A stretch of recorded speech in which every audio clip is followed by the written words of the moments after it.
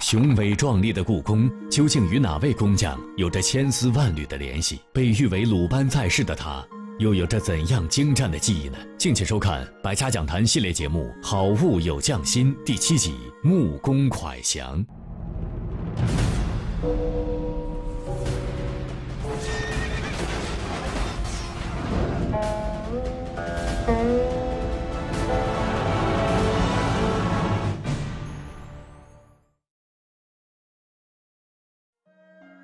一座紫禁城，半部中国史。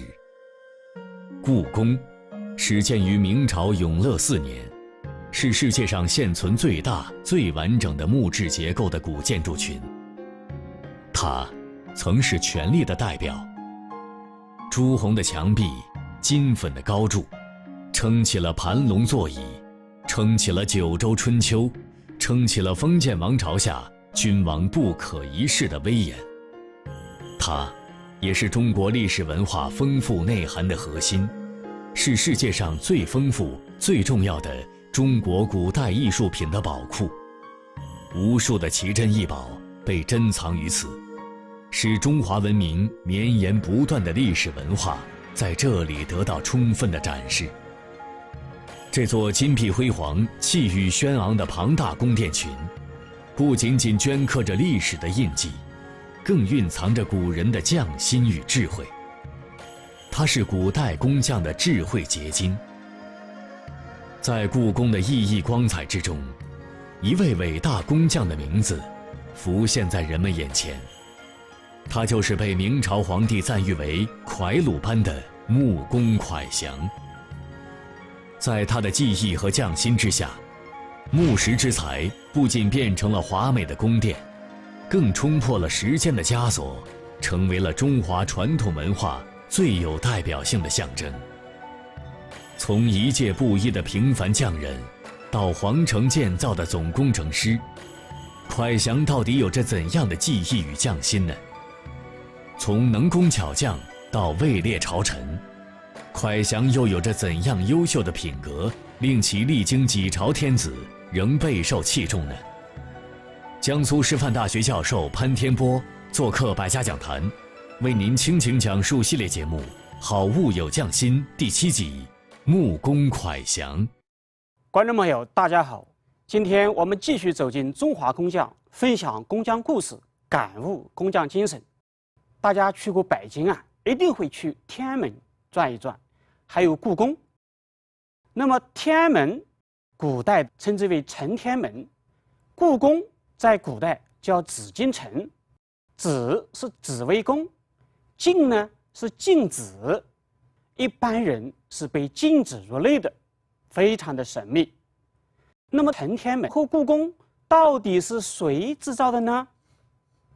在学界啊说法不一，在我个人看来，承天门和这个紫禁城呢，它是皇家主持营造，有。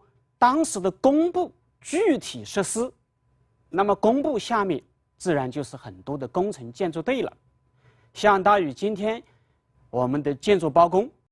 那么这个建筑包工里面就有动用了大量的工匠，但是留下姓名的却是不多。我们很难知道建造紫禁城到底有多少工匠。那么不乏有幸运者，比如说今天我们要讲的这个木匠款祥，就被历史记录下来了。那么款祥为什么会被记录下来呢？因为，他营建了承天门，他参与建设了紫禁城的三大殿。由于他非凡的技艺、独到的手艺，所以呀。他被皇帝称之为款鲁班。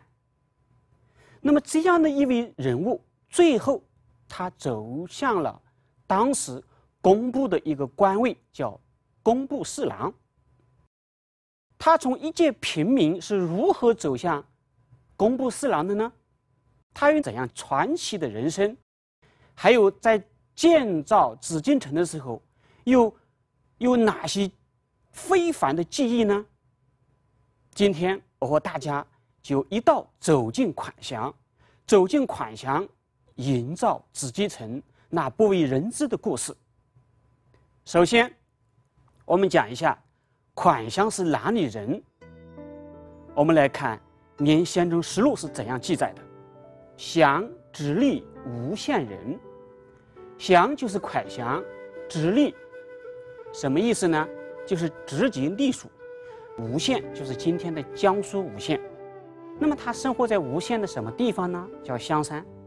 这个地方交通非常发达，啊，西边可以入长江，上面有运河直达北方，东边面临大海，旁边还有太湖，家乡非常富裕，非常富裕啊！造房子的人就非常多了。造房子多了，那么就自然形成了一个帮派，什么帮派呢？叫香山帮，是一个工匠帮。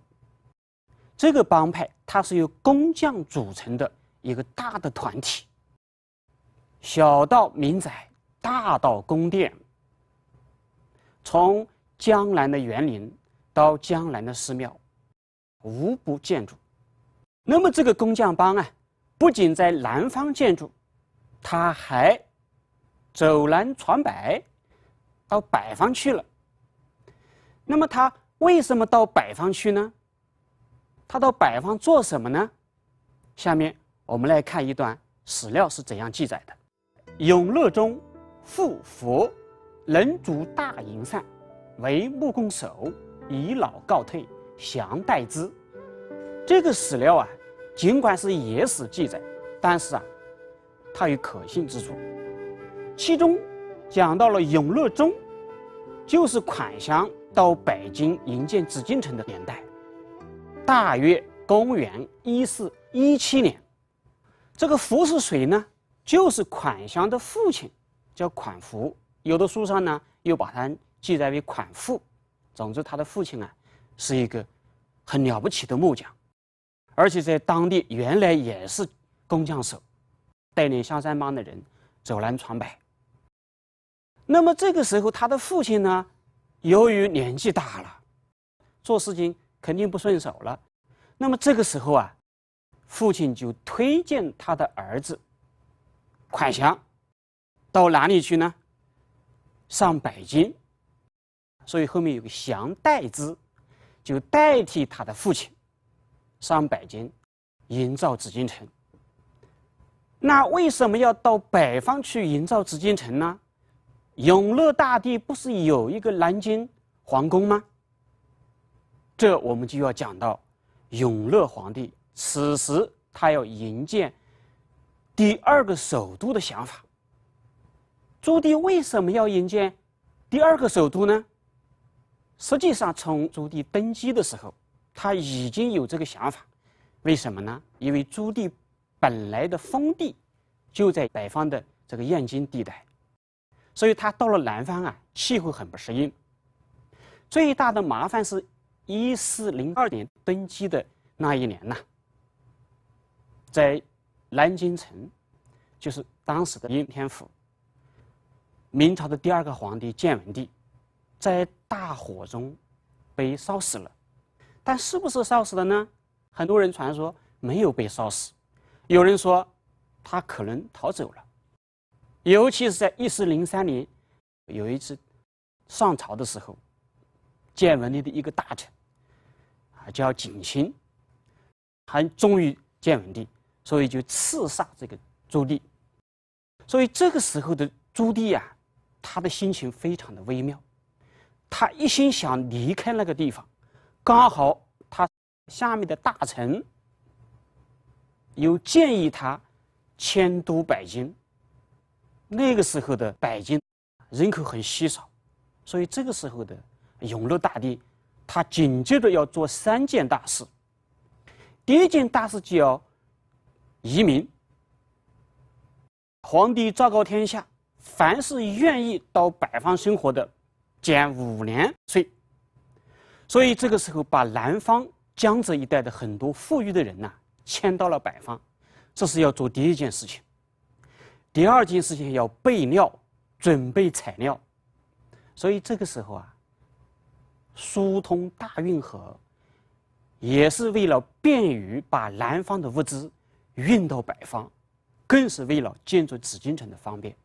所以这个时候，开凿大运河又开始了。这个准备材料是非常艰辛的。我们大家想一想，雄伟的天安门，气势磅礴的紫禁城，那么大的一个建筑群，它需要多少的木料？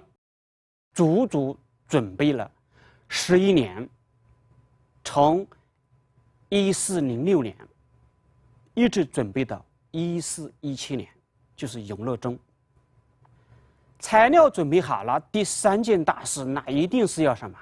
哎，召集天下工匠。那么这个时候的永乐皇帝，他自然会想到谁呀？一定是款服，因为明南京皇宫就是他营造的，他具有高超的技能，尤其是营造大建筑的技巧。不光如此啊，永乐皇帝还看上了。款祥父亲他手下的什么那一帮工匠，就是我们前面讲到的香山帮。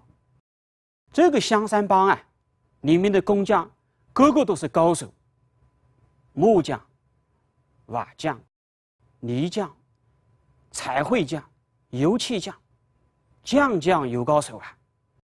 但是这个时候啊，由于款祥他的父亲年纪大了，所以。款祥自然就代替他的父亲摆上营建紫禁城。就这样，款祥来到了北京。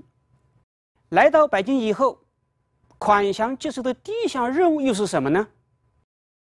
他能不能胜任呢？毕竟当时是一个二十岁不到的小伙子，能不能胜任，我们拭目以待。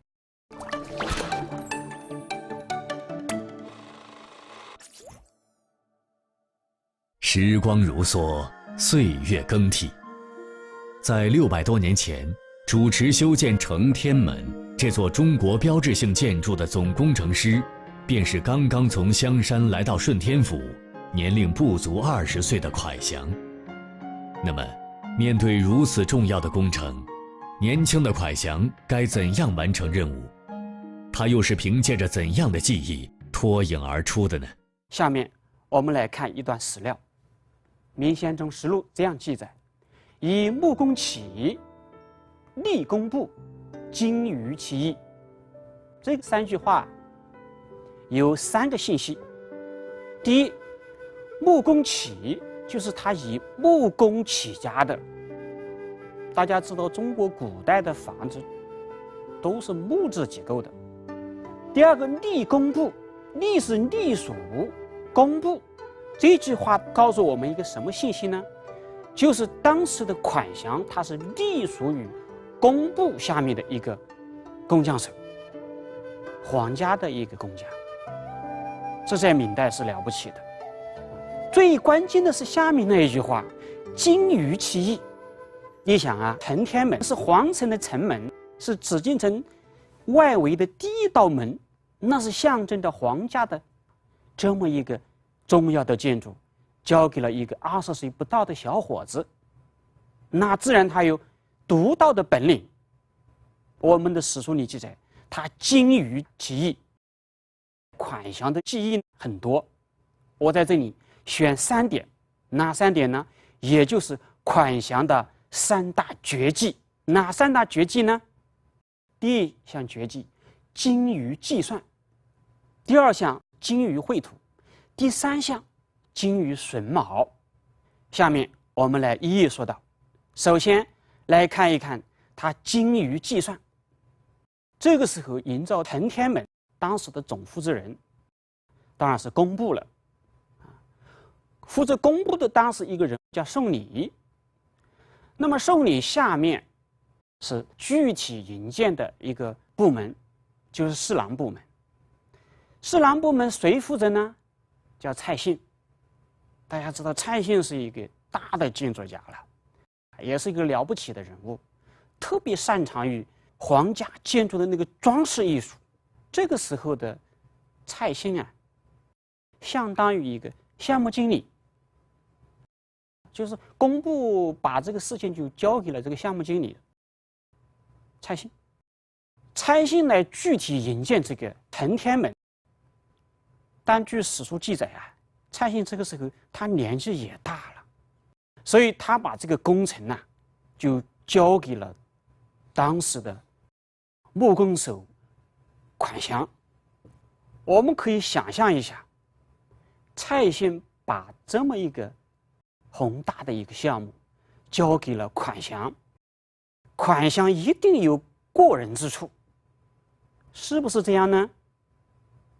我们来看一段史料，它是怎样记载的：用尺准度。若不经意，即造成，以至圆所，不差毫厘。什么意思？就是他用尺啊，非常的准确，看上去不经意，但是一旦成功了，以至原来那个位置啊，一点都不差。在木匠行业里面有一个术语，叫“木匠看尖尖，瓦匠看边边”。这句话道出了木匠和瓦匠他们独到的一个。技艺是什么呢？木匠他用尺要准确，用尺准确的那个尖尖角角啊，达到了原来想设计的要求。如果它的尺寸不准确，那么它造出来的这个家具也好，房子也好，尺寸不准确就产生了个尖尖啊，就会凹凸不平了。那瓦匠肯定是要看边边，挖匠用这个挖刀糊这个平面好糊啊，但是这个边边角角的。他要把它弄起就很困难了。这个款详啊，它就是用尺非常的准确，准确到不差毫厘。我想啊，一定是蔡兴看上这个款详的一个理由。那么款详接收了这个重大的任务之后，他是不是按照既定的目标去营造这个腾天门呢？能不能展现他？精于计算、精于尺寸的这个技艺呢？这里呀，我们要讲一个小故事。什么样的一个小故事呢？就是当所有人把目光聚焦在款祥的身上，这个时候的款祥临死以后，他把自己关起来了，躲在一个小房子里，外面那么多的工匠都在等待着款项的命令。要干活啊！最着急的还不是工匠，那是蔡兴啊！你说蔡兴他是一个项目经理，他是负责要营建这个承天门的，他能不着急吗？这个时候的蔡兴啊，就径直的去找到了这个款项，可是他不开门呐，这可急坏了蔡兴。那么蔡兴直接把这个事情上报给公部的总负责人宋礼。那宋礼一听很惊讶，这可了不得，不按期完成，很难交差，所以宋礼直接找到了款祥，敲门，敲开了，敲开了以后，只见款祥没有说任何话，坐在一旁继续做他的事情。宋礼一看，悬着的心放下来了，不着急了。那么他到底做了些什么事情呢？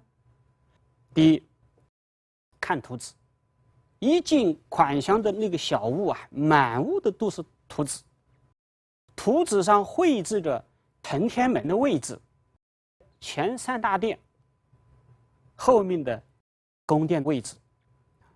那么所有的房子都在上面标志着数据，精确的计算它的位置在什么位置。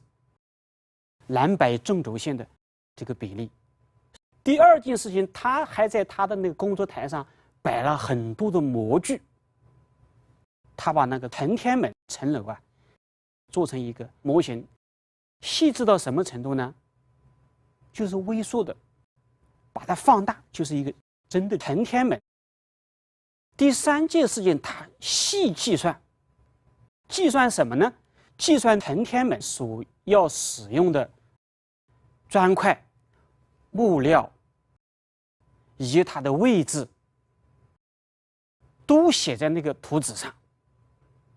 那么经过这样的准备以后啊，款祥赶快马不停蹄，分配手下所有的工匠开始动起来，按照他的微缩的模型开始建造承天门。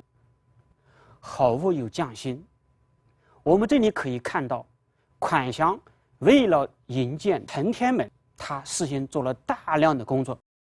匠心呢，体现出他精于计算的一个精神。相传他不浪费一根木料，也不浪费一块砖，精打细算到这个程度。坊间啊，流传了这样的一个故事，什么故事呢？就是款祥在营建午门的时候，拆午门台阶为铺金砖的故事。就是皇帝朱棣和大臣们去。验收这个午门，他知道这个地方啊非常的重要。皇帝来视察验收他的工程，一步一步的走上午门的顶楼。也许是朱棣皇帝走累了，他说了一句：“台阶这么多，不足以显示午门的这个威武崇高。限三个月内拔高午门。”麻烦了，三个月怎么可能拔高啊？为什么？大家知道造这个午门，它需要什么？从南方运来的很多的石料、木料，那不是一天两天能运来的。但是这个时候，在一旁的款项胸有成竹的答应了，好，三个月之内保证完成任务。绝不拖沓。等大臣们走完以后，款祥招来了他的一个老乡，专门负责铺地上的那个石板的一个工匠，把原来的台阶拆了，全部铺金砖。所以，这个工匠接受了命令以后，马上开始动工。这个金砖呢，为什么叫金砖呢？就是这个金砖，它非常的宝贵，像金子般一样的宝贵。实际上，也就是两尺见方的一个大方砖，雅称叫金砖，非常的金贵。金贵到什么程度呢？当时有一个说法，叫一两黄金一块砖。那么，在工程进行到尾声的时候，突然有一个工匠来了，来到了款项面前，啊，气喘吁吁的，紧张兮兮的，好像出了什么事情。所以款项连忙问道：“你有什么事情？难道工程上遇到什么麻烦吗？”这位工匠啊他说：“差几块砖。”大家知道款项是精于计算组成呐，经过他计算的这个金砖。怎么可能能少呢？何况这个金砖特别的珍贵，少一块不得了啊！另外，这个金砖很早以前就运来了，现在如果差那么几块到南方去，经过运河再运到北方，那时间长了，三个月要拔高午门嘛，那就不能完工了。这个时候，款项微笑的对这位工匠说。我看不大可能，你还还是找找吧。是不是被别人拿回家了？果不其然，这位工匠来到他的宿舍，结果发现有几个人把砖放在他的床底下，被人偷了。午门的建设啊，虽然产生了两次的小小风波，第一次。拆午门台阶，拔高层楼，第二次铺金砖，都出现了小小意外，但是最后啊，都顺利的完工了。从这里面我们也可以看出，款祥他精于计算。你想，他计算的那个砖呢，一块都不差，一块料都不费。这样的好木匠，这样的营建大师，谁不喜欢他呢？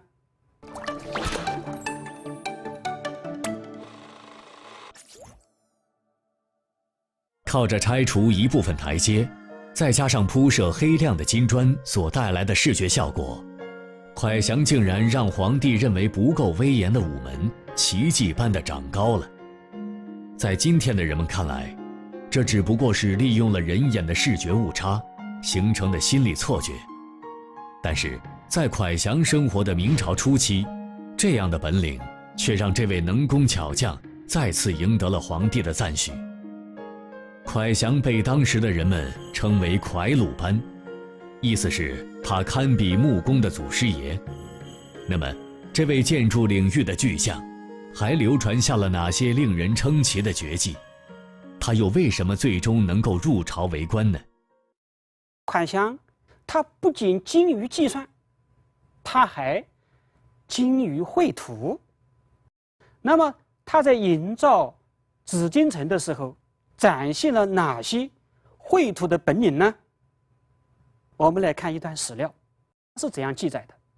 凡殿阁楼榭，以至回廊去宇，随手涂之。殿就是殿堂、楼阁，楼榭嘛，就是土台子上面的那个房子叫楼榭。以至回廊去宇，走廊，去宇嘛，就是那个曲曲直直的房檐。随手涂之，这个随非常关键。款祥啊，他的精于绘图，他。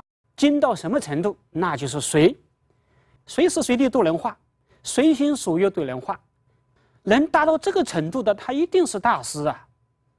大家知道，在宫廷里面修造房子啊，有一样独门绝技，那是必须要有的，那就是画龙。坊间传说他双手绘龙，两手合一，说明他的技艺非常的精湛。这样的一个精湛的技艺，来自于哪里呢？难道他是天赋吗？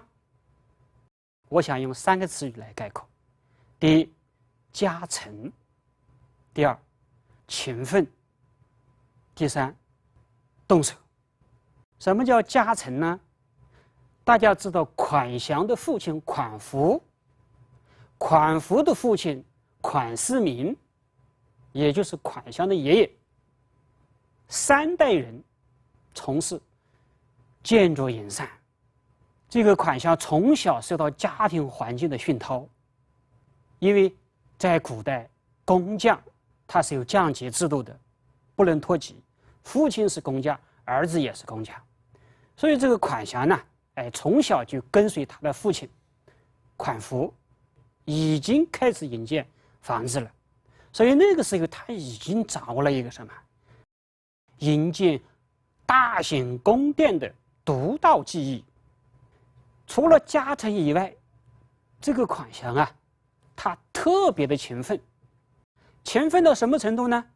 传说他小时候啊，能把建筑图书倒背如流。凡是涉及到建筑的图书，他都看。他尤其崇拜一个人。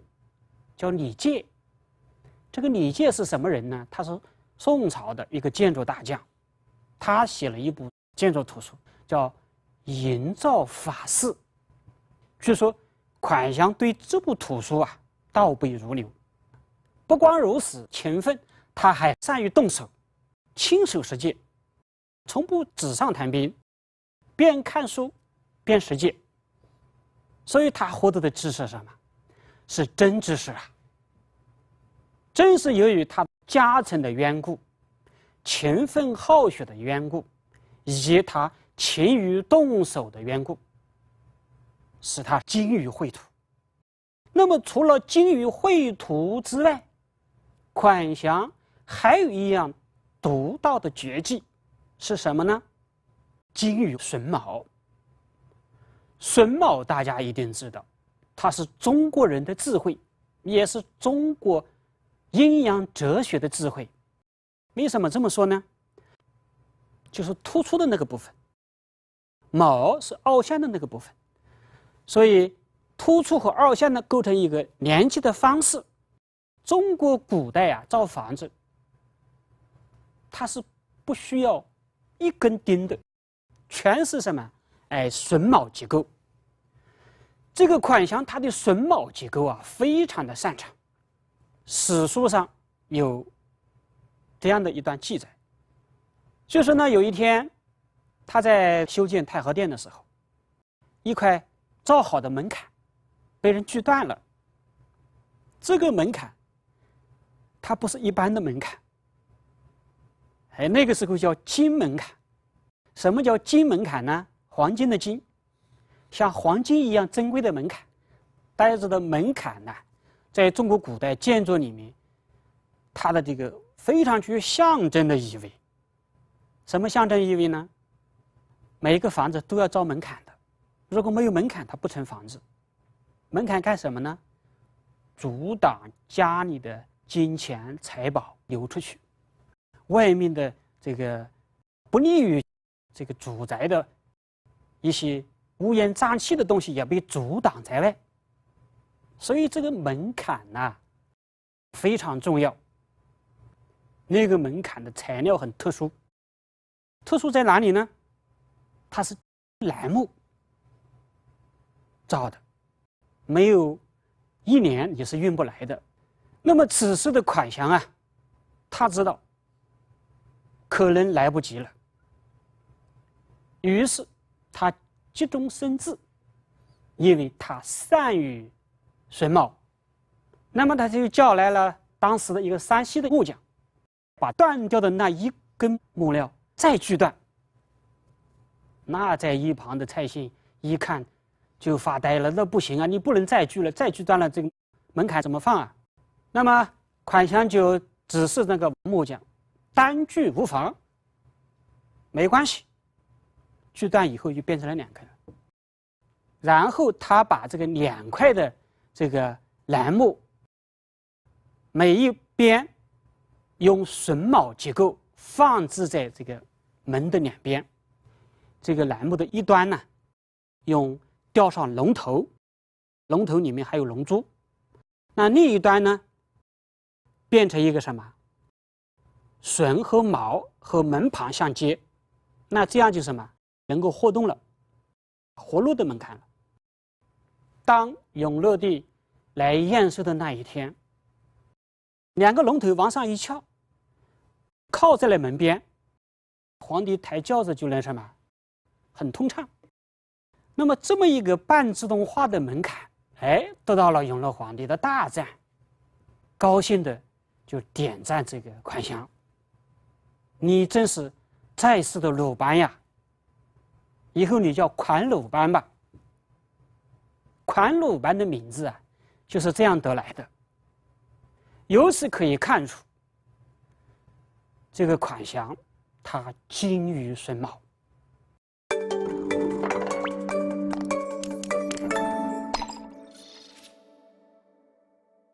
年少有为的蒯祥，既精通计算与绘图，又能将具有中国传统特色的榫卯结构应用的炉火纯青。蒯祥在完成了故宫的建造之后，深得皇帝的喜爱。他的技艺与匠心不仅仅造就了好物，更是为自己赢得了位列朝臣的机遇。那么，多次让永乐皇帝印象深刻的他，会得到怎样的赏赐？即将平步青云的他，又是否能够保持自己作为一名匠人的初心呢？下面我们来看一段史料：立卓太仆少卿，遂为工部右侍郎，转左侍郎。这个“卓”就是提拔的意思。这个太仆少卿啊，就相当于一个管马政的副官。为什么让款祥去管马？我想很有可能和他运送这个啊材料有关系，因为古代这个运送这个木块，尤其是大石块，它是用马来运的。那么遂为工部右侍郎，这个侍郎是一个副官，工部的一个副官。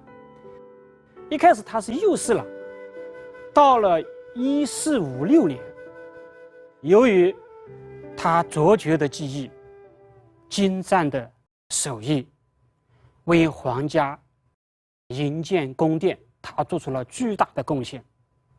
那么就把他擢升提拔为左侍郎。提拔后的款项是不是飘飘然呢？没有，款项到晚年，他仍然保持三个状态。第一个状态，不成奸愚，就是不做教子；第二，工作不减，虽然年纪大了，他工作还不减，他还是修缮紫禁城。最可贵的是。他作为一个工部左侍郎，他为家乡的人民请命，就是晚年他回到家乡，洪涝灾害的时候，他亲自上北京，让皇帝减少赋税，得到大家的这个认可。那么，款祥凭借自己的才华和手艺，以及他的精神，影响了香山人。因为皇帝对款祥的认可、赞许，他们感觉到了，只要你有手艺，还是能够走向仕途的。同时，款祥的精神也影响了中国的工匠。款祥是中国建筑的泰斗，他把南方苏州园林的建筑风格带到了。北方，他也把北方营建房子的技术带到了南方，所以款祥啊，他在这一点上，尤其是在南北文化交流上，他也做出了巨大的贡献，以至于形成了中国建筑里面独特的工匠精神。这是款祥给今天的影响。公元。一四八一年，款祥离我们而去了。款祥走了，他的精神还在。他一辈子为了他的艺术而奉献自己的青春。他不愧为是中国建筑界的泰斗，他不愧是人民的工匠，他也不愧是。皇家眼中的款鲁班。好，今天就讲到这里，谢谢大家。